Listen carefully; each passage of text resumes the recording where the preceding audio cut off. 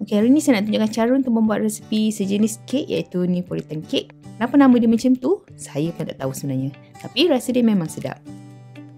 Kalau nak tahu macam mana saya buat resepi ni, jom tengok video ni sampai habis. Okey, ni bahan-bahan yang saya nak gunakan. Pertama sekali adalah unsalted butter. Unsalted butter ni tak kisah nak guna brand apa. Tapi kebiasaannya untuk buat kek memang lebih sesuai gunakan unsalted butter. Kemudian kita perlukan gula. Yang ni saya gunakan gula caster. Kalau tak ada gula caster, boleh juga gunakan gula biasa. Okay, bahan seterusnya adalah telur. Saya gunakan 3 biji telur yang bersaiz A.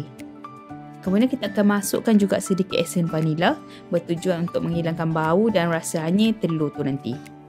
Okay, bahan seterusnya adalah tepung gandum. Tepung gandum ni pun tak kisah nak guna brand apa tapi selalunya saya gunakan brand Cap Sauh. Dan tepung gandum ni kita akan ayak sekali dengan baking powder. Kalau tak nak guna tepung gandum, boleh juga gunakan tepung naik sendiri. Bahan seterusnya adalah susu full cream. Kalau tak nak guna susu full cream, boleh juga gunakan susu low fat ataupun fresh milk. Kemudian saya akan masukkan juga sedikit yogurt. Make sure gunakan yogurt asli. Yogurt dan susu ni bertujuan untuk menjadikan kek kita lebih moist dan lembut. Okey, kemudian bahan lain yang kita perlukan adalah strawberry filling. Kalau tak ada ni boleh juga gunakan strawberry paste dan kita perlu juga sedikit cocoa powder. Okey, jom kita start buat kek Neapolitan ni. Mula-mula masukkan butter kat dalam mangkuk yang besar. Butter ni make sure dia berada pada suhu bilik, bukan yang sejuk ataupun yang keras. Kemudian masukkan gula caster tadi dan sedikit esen vanila. Kemudian kita pukul bahan-bahan ni semua sampai dia betul-betul gebu dan nampak creamy. Pukul menggunakan mixer, mula-mula kita boleh pukul pada kelajuan yang perlahan. Kemudian kita boleh naikkan dia punya kelajuan sampai pada tahap maksimum.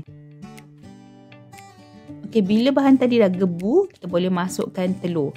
Telur tu make sure masukkan sebiji demi sebiji. Masukkan sebiji dan pukul lebih kurang dalam 1 minit. Kemudian kita masukkan lagi sebiji dan ulang sampai habis.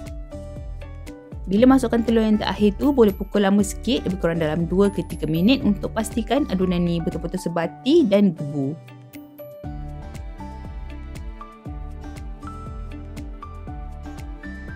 Okey bila adunan ni dah sebati, kita boleh ayakkan tepung dan baking powder kat dalam ni. Kalau nak ayakkan dalam mangkuk lain dulu pun boleh juga. Untuk baking powder tu sebenarnya saya letak 3 sudu kecil tapi ada part yang terpotong sikit ini masa buat tu make sure gunakan 3 sudu kecil okey. Bukan 2 sudu. Okey kemudian kita ayakkan tepung dan baking powder ni semua sekali kat dalam adunan tadi dan kita boleh pukul. Masa pukul tepung ni gunakan kelajuan yang paling perlahan sebab nanti habis berterabur tepung tu. Dan kita pukul tu jangan terlalu lama sampai dia nampak sebati je dah cukup. Jangan over mix, Air sekali boleh masukkan susu full cream tadi dan juga sedikit yogurt. Yogurt tu saya masukkan lebih kurang dalam 2 sudu besar. Macam yang mula-mula saya cakap tadi, yogurt dan susu ni sebenarnya bertujuan untuk menjadikan kek kita lebih lembut dan lebih moist. Okay, kemudian kita pukul lagi bahan-bahan ni. Kita pukul slow je, paling slow. Kalau nak kaut balik je pun dah okey dah. Tak perlu nak gunakan mixer pun tak apa. Sementara tu boleh subscribe dulu YouTube channel kami, boleh follow kami dekat Facebook, dekat Instagram dan juga TikTok. Lepas tu boleh like, komen dan share semua video-video kami. Okey, bila adunan tadi dah sebati, kita boleh bahagikan pada tiga bahagian sebab kita nak buat kek ni tiga lapis ataupun tiga layer. Okey, untuk layer yang pertama ni kita nak bancur dengan serbuk koko. Serbuk koko tu kita perlu bancur dulu dengan sedikit uh, susu. Saya guna lebih kurang dalam satu sudu besar serbuk koko dan satu sudu besar susu. Kacau sampai dia sepati kemudian boleh masukkan kat dalam adunan tadi.